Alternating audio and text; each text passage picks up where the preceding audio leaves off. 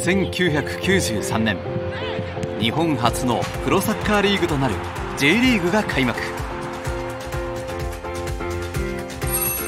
2021年には女子のプロサッカーリーグ WE リーグも開幕。これまでたくさんのスーパープレーが生まれてきました。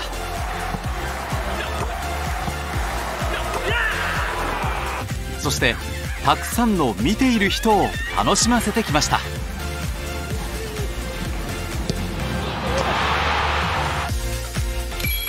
そのスーパープレーの一つ一つに選手たちのさまざまなテクニックが隠されているんです。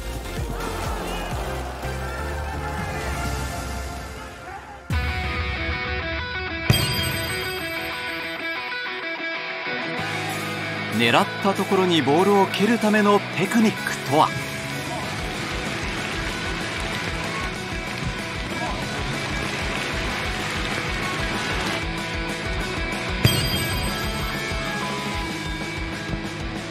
ボールが来た時どうやって思い通りにコントロールしているのでしょう？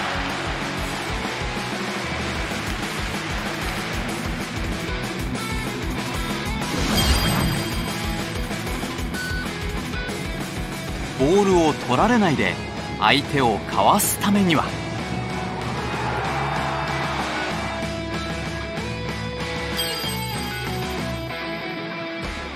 どう攻めてどう守るのか。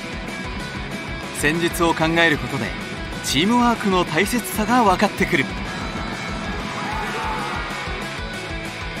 この教材ではサッカーを科学する。楽しみながら学習しちゃいます。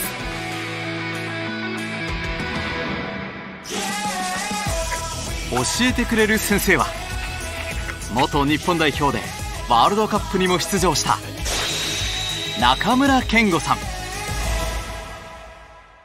今回は蹴る止めるかわすそして戦術。この4つの要素を一緒に学んでいきましょう。まずはみんなで体を動かして戦術を学ぼう。味方と一緒に戦うスポーツでは仲間のことも考えて行動するのも大切なことです。ここではチームワークの大切さを知りましょう。みんなに体験してもらうのは目隠しをして行うブラインドサッカーを参考にしたオリジナルゲームです。見えない状態で音を頼りにボールを操ってみましょう。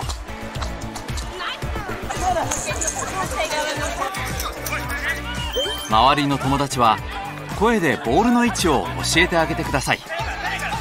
目隠しをしている人にどのように声をかければ伝わるのか考えてみましょ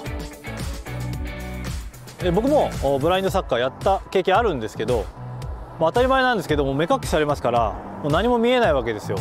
あの耳を頼りにしなきゃいけないんでぶつかるかもしれないし。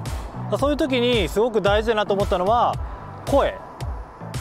まあ、例えば何歩先に相手がいてゴールはどっちの方向にあって本当に細かくその指示をしないと成り立たないスポーツだなというふうに僕は思ったのでそれをみんなやってみてそのコミュニケーション声の大切さっていうのを感じてほしいなと思います。